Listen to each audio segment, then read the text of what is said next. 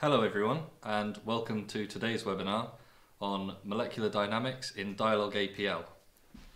Um, so what I'm going to be doing today really is giving a brief sort of surface introduction to molecular dynamics simulations um, and one particular simulation that's quite simple that we can walk through and then along the way picking out a couple of key areas, um, examples and snippets of APL uh, which I help I hope will sort of showcase um, the ways APL could be useful for teaching molecular dynamics because APL is a mathematical notation and so translating formulae into uh, a computer program is relatively straightforward if you know APL. Um, and also if you're developing molecular dynamics, maybe a couple of the things uh, that we come across um, might be useful to, to someone like that. Um, so, well, let's get into it. What is molecular dynamics? It's modeling small sort of systems uh, of like hundreds or thousands of atoms. It's used in material science, um, and also I guess there are there are codes for simulating biological molecules. That's maybe some of the largest or more, most complicated systems you'll see in molecular dynamics. Um, and it's basically for these many body systems uh, solving Newton's equation of motion, which I have the vector form uh, here, F equals ma. Um, and one other thing before I talk about how we do that is the second equation is just in one dimension.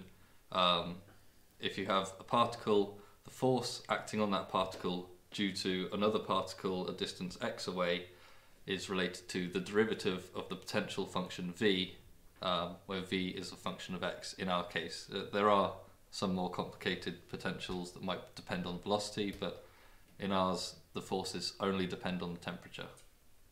Uh, the forces only depend on the positions, sorry, the relative positions. Um, so these systems will have uh, will be described by differential equations that are fairly complex and because of uh, them being many body systems, they're not analytically solvable. So you need to use numerical integrators, these numerical approximations um, to simulate the system through discrete time steps. And the system we're going to be um, focusing on today is the velocity Verlet scheme. Um, it's a very popular numerical integrator used in molecular dynamics, but also in other physics simulations for graphics programs and video games, for example. There are lots of MD codes out there, um, some quite large ones that are used for very large scale uh, simulations. Uh, LAMMPS, for example, is written in C++ uh, and scales up to hundreds or thousands of cores. Um, so they're well, they're open source and they're accessible, but in a way they're quite unwieldy if you want to um, make additions uh, and hopefully showing this APL example you might be able to see how um, scrapping together a quick demonstration or a, a simple simulation might be quite uh, quite straightforward um, and modifying it can be relatively easy. And also the performance of the APL isn't so horrible that you wouldn't even bother with it. Um, so firstly, talking about APL for teaching molecular dynamics, I'm going to show you a Jupyter notebook which I prepared earlier explaining this simple physical system we're going to be simulating. And then later, towards the end of the webinar, I'm going to show you a web-based graphical interface uh, for showing the particles and playing with some of the parameters to see how that affects the simulation. So um, there's a link in the description below uh, to to the uh, to the Jupyter notebook I'm going to be showing you, and the um, system we're going to be focusing on is known as the Lennard-Jones fluid. So this is like a monatomic gas, for example. So it's all the same types of atoms, and it's quite a simple equation describing the interatomic potential. So the potential energy of a particle due to a particle distance r away is described by this equation here.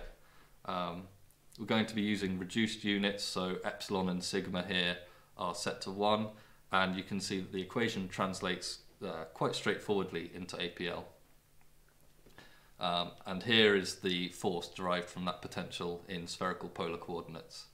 But now I'm going to jump to the Jupyter Notebook um, and give you a little bit of context for what we're doing here. Um, this example is basically taken straight from this blog post from Jacob Martin where he gives the same example in Python um, and I'm going to compare the performance later as well. So there's a link there if you want to check that out as well. So first of all, we're going to be using sharpplot um, to plot that potential function. Uh, here it is in the notebook.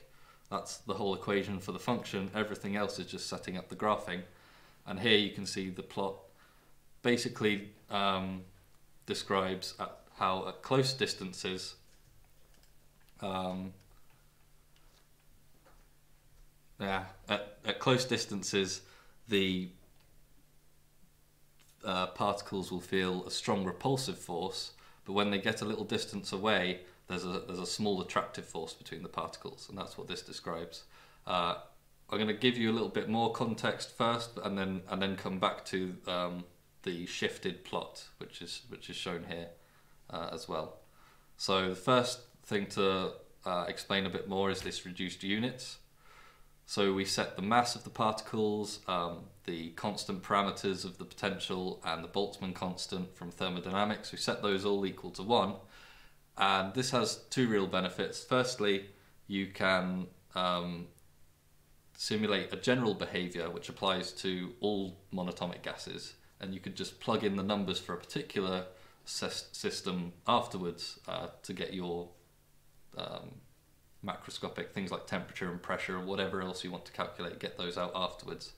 And secondly, we can keep our numbers, well, yeah, keep the numbers that we calculate with close to one, or the order of one, uh, and then by doing that reduce our floating point errors so we can keep the maximum precision possible.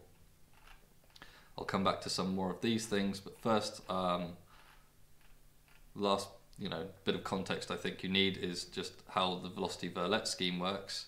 So this is uh, very slightly modified from what you'll find on the Wikipedia page for the Verlet integrator. And basically it's just saying, okay, we've got this state with the positions of all the particles and all the velocities, and we've got the state at time t, and we're going to run it through these equations and end up with the state after time after a time step delta t. Um, the only change I've made from, from the Wikipedia description is this step 2.5. We're using a thermostat because while the velocity integrator itself for a closed system will conserve the total energy, the systems which are done or used experimentally um, might use a heat bath to maintain a constant temperature or some other ways of maintaining constant temperature and pressure. Um, so for this example, we're using a thermostat to simulate maintaining constant temperature. Um, actually, I'll quickly show you that equation because it's very small, but the thermostat we're using is the simplest one there is. It's just rescaling the velocities at every time step because um, the temperature could can be described um, as a function of the velocities for these small systems. Um, so every time step we just multiply the temperature by some factor, which is the square root of our target temperature divided by the current temperature. Um, later I'll show a modification to that. And lastly, in APL, I've implemented the Verlet, um, Verlet integrator as an APL operator, where the left operand function is the um, function that computes the pairwise forces, so or the force on a particle due to its uh, neighbours. And this means that even though we're using this quite simple equation for this simulation, if you had a more complicated uh, potential function but it still relied on the positions only, you could just slot it into this operator and it would still work. So the first um, specific piece of code I'd like to talk about is this uh, implementation of periodic boundary conditions. So periodic boundary conditions are uh, described here with this diagram that illustrated. Basically, we take in 2D it's a, square or in 3D a cube, this unit box, and that's our simulation space. And periodic boundary conditions is a bit like in Pac-Man and Snake or the Game of Life APL example, uh, when a particle goes off of one edge um, of the simulation box, we basically wrap the positions round so it comes back through the other edge. And that's implemented really nicely in APL. I'll show you very quickly. So if I had a bounding box that's between 0 and 1, um, and my position in one dimension was 0.3 at one time, and then at the next time step it was 1.3, it's gone outside the bounding box, I can literally just use one mod to wrap the positions back round. And because APL is an array-based language, it takes no extra effort to uh, implement that wrapping uh, for many particles in however many dimensions. Well, we usually do up to three, but however many dimensions you want. Since for my simulation, we represent all of the positions as just a matrix. Um, I'll show you a bit more of that just now. So that's periodic boundary conditions. Um, then in the operator, we also apply the thermostat for rescaling. It's basically just an APL translation of these equations. And the next thing I'm going to show you is the forces computation itself. So to do that, I'm going to go into the uh, framework that I've set up um, in Dyalog APL. Uh, I've dubbed it APLPhys, um, and I'll give you a GitHub link later. So APLPhys is just a folder full of text-based APL source files. So it's just APL functions written in plain text um, in a folder. And in the previous webinar, you were shown how to use link. I'm going to be using link here. Um, the first thing I'm going to do is change directory into here just for my convenience. And secondly, I just copy the path to the to the folder containing all those functions and I'll use the user command. Uh, make this a bit bigger. Maybe that's too big. Yep, I'll just use the link user command bracket link.create uh, APLPhys namespace and that folder and now I've brought all of those functions into the workspace in the namespace APLPhys so you can see all those functions and there's a couple of operators there um, and then the other thing I've done to implement this sort of framework I've, I've stolen from LAMMPS, and that's these text-based script files for setting up the simulation parameters. Um, so this is this lives in the examples folder in the project, and I have a function run, and I'll run the Lennard-Jones melt example. So control enter to step into that. The first few lines are just uh, some cleaning up the file name, which allows me to be lazy when I type. Then we're going to use uh, pick quad n get to bring the instructions in uh, as a nested vector of text vectors. Then we'll set up some uh, stuff to do with logging, the outputting to text file, etc. I'm skipping over that for today. Then we use quadfx to fix this script in as a function called current script. And we'll keep the nested representation as a thing called source. And this last if statement here um, means that if I edit the script at any time while I'm running the simulation, I want those changes to be saved to the file at the end. Uh, that's what these, this last if statement does. So we can step into the script itself. It's all just plain APL. So we want periodic boundary conditions. I set my fixed temperature. Everything's in these reduced Lennard-Jones units uh, for convenience. We set some global variables up for the box dimensions for our periodic bounding box. And then to demonstrate some of the functionality or, or some of the ways it works, this, this code works, I'm just going to start with a simulation of five atoms. And I've pre-prepared um, a position matrix for the initial positions uh, so that I can get the behavior I want in a moment. Um, I could set different pair styles using this function. Um, in a moment I'm going to show you an optimized version of the force function, but for now it's just the plain one, just as it is in the Jupyter Notebook. We can set our thermostat, and run style is basically just a way of naming any given um, integrate uh, numeric integrator as a as an APL operator. Then some stuff about outputting to text files, and now we're going to simulate the system. So the setup gives us our positions and velocities. I've set the positions um, myself, and the velocities are just random floating points between 0 and 1.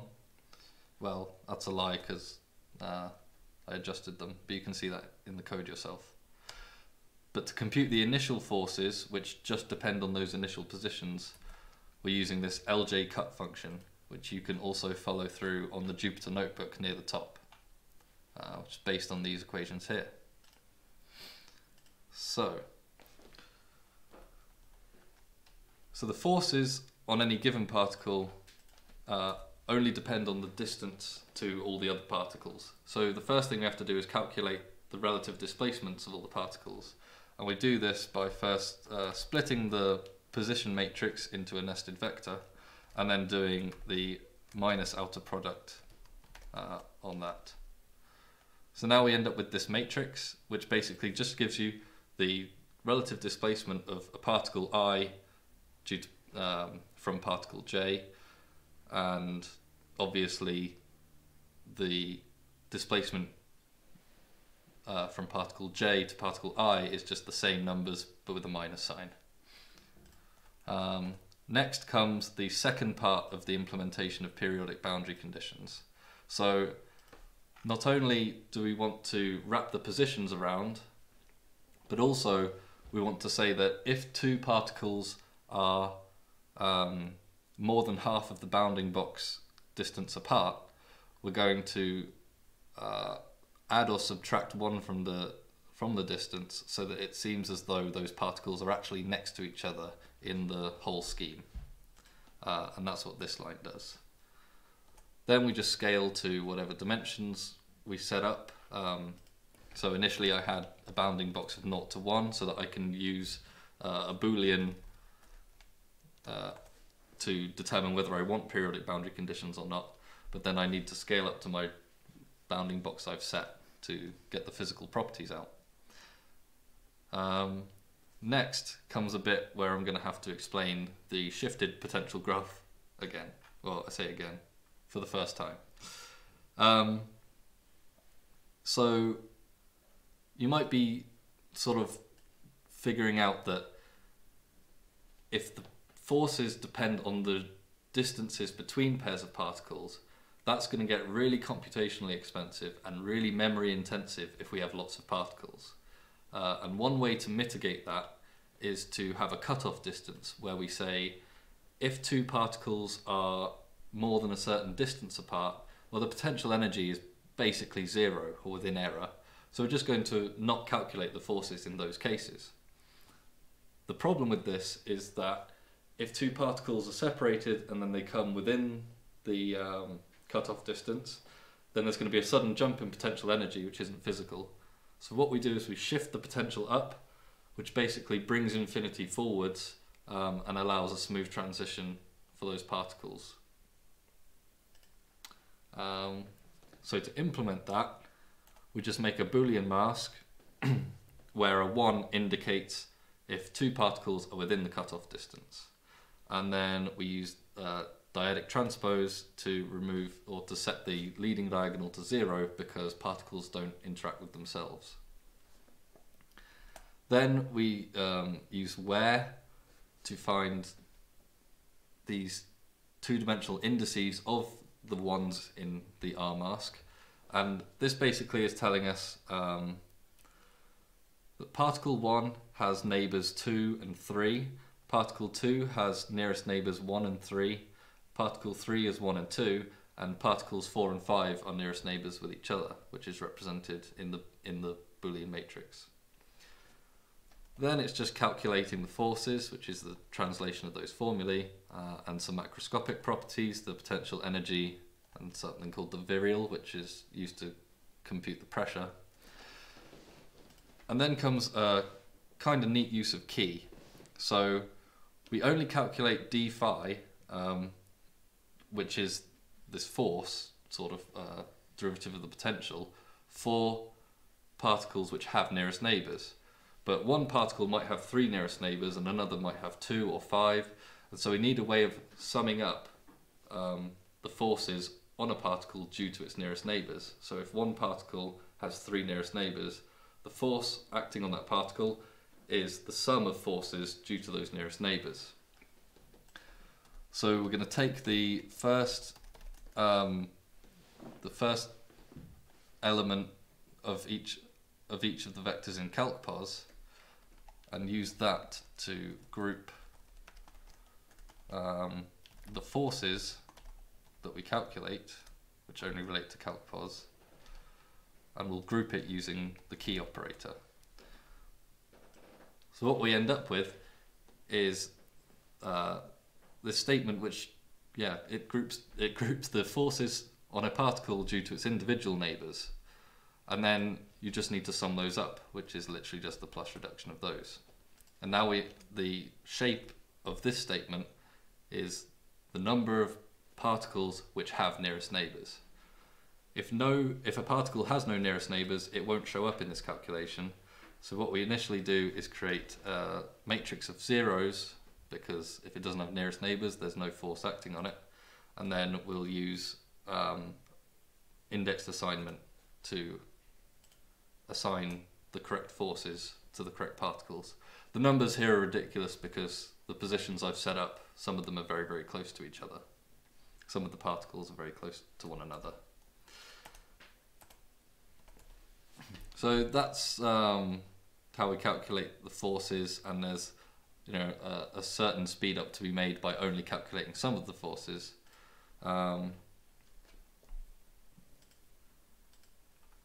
but well, let's uh, yeah, let's see how fast that is. So we can use the runtime command examples slash lj melt.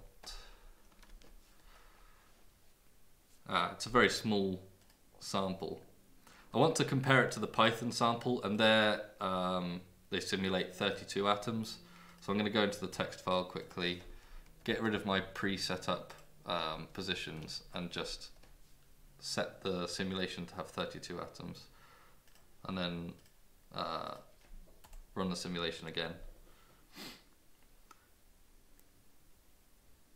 So the Python example, I've got a notebook here. I haven't put it on the GitHub yet, but it's literally just the code from um, from Jacob Martin's Python example. It's the code from here, slightly modified, um, and put into a Python Jupyter notebook. And when I used the time it, uh, used Python's time it to, to figure out how long it takes, it seemed to take about 30 seconds. The APL example I have shown you here takes under seven seconds, but we can make it faster. So I have um, an optimized version of the force calculation. That's where the majority of the computation is spent uh, and I'll show you the modifications there that, that make a significant speed up. So, uh, yeah, we'll run the same script again.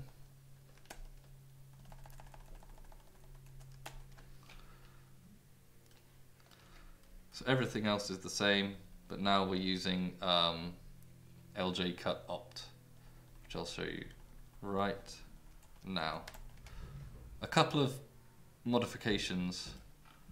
Firstly, um, in calculating the distances. So initially we were doing an outer product selfie uh, on a lot of particles,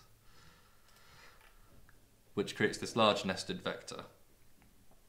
The table operator here uses the rank operator um, to pair up vectors in pos because there's a selfie here, so pos is on the left and right.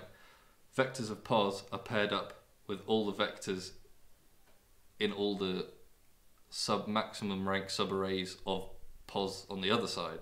So essentially, it's the same as an outer product, but it works on um, but it works on flat arrays. So where the outer product produced this 32 by 32 matrix, uh, the table operator produces a flat rank 3 array. Um, there are very few modifications otherwise. Um, I've also added an optimization where I'm going to get rid of the top right hand triangle of particle positions because the force on a particle i due to particle j, thanks to Newton's third law, is just minus the force on j due to i. Um, the second optimization here is instead of using 2D uh, indices for CalcPos, uh, we ravel the, the Boolean mask and just get a flat vector of um, a flat vector of indices to be used by key later.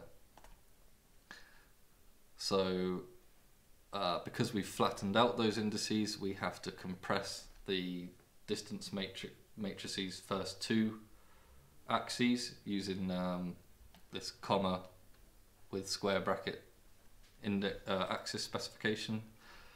The rest of the um, calculation is exactly the same. Uh, and then lastly, we'll use squad uh, on the compressed axis S. So S is this um, S is this rank 3 vector and we can compress the first two axes to get one long vector that we can use our flat vector of indices. Um, use the flat vector of indices to select uh, particular vectors in the matrix.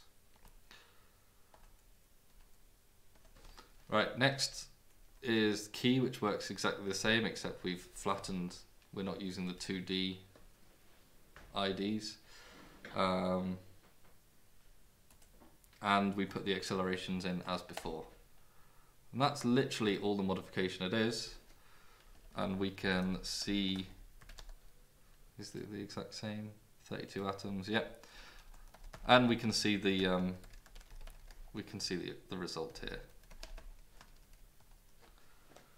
So where before it took under seven seconds, now it takes under 700 milliseconds.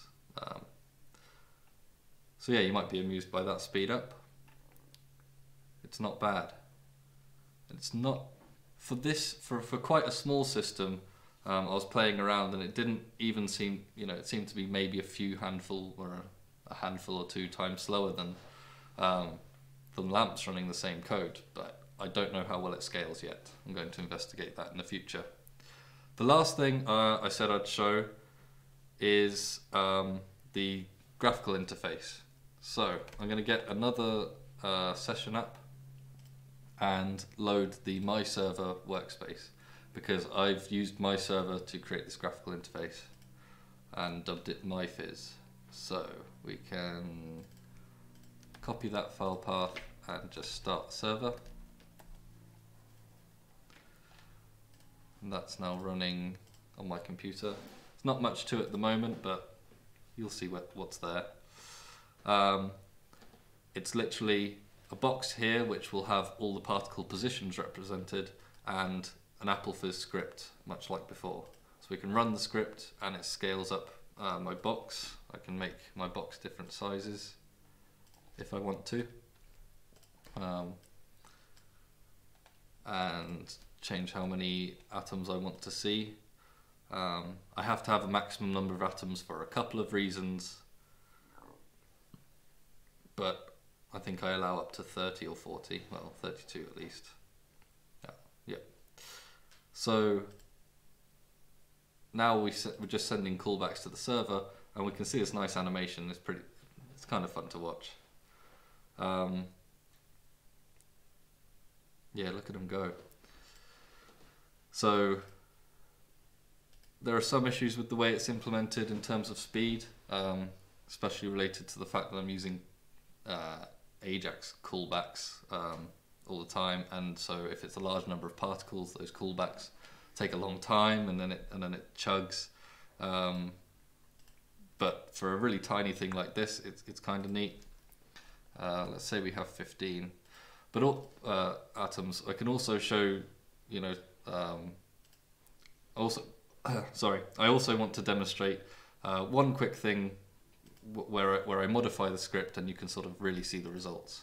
So up till now we've been using the simplest thermostat, which is the temperature rescale thermostat here. It's just this in APL, um, where omega is the previous velocities and alpha is the current temperature and fixed temp has to be a global in this case.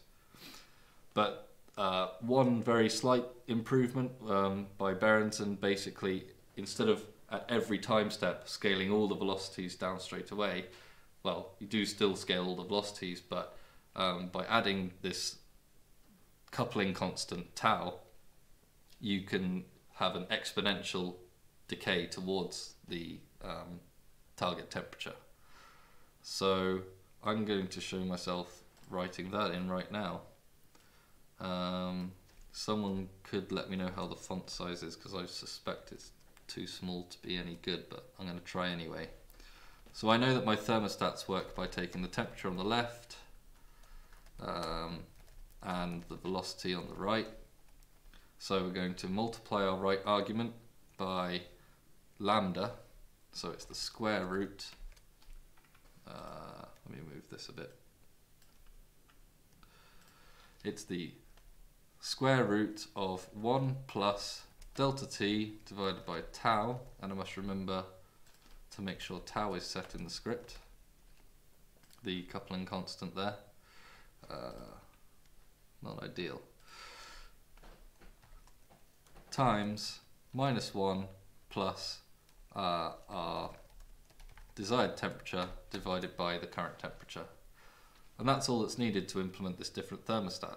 So I can run that script. If I start it, I might have done it wrong. Oh yeah, because I didn't comment that out. Uh, apologies. What I'm going to do, just to make sure it works, is restart the server. So I'll copy all this, close the page,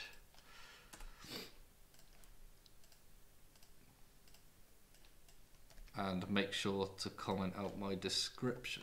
There we go. That worked. Um, so it's quite hard to see from here, it's already scaled down to the temperature, but if I change the dump frequency, which is how often the, um, or how many steps before the page updates the positions, then you'll be able to see it a bit better. So, and uh, one other way to make it more clear is after I create the atoms, which also creates random velocities, I can just multiply the velocities. So it, the initial temperature is much higher.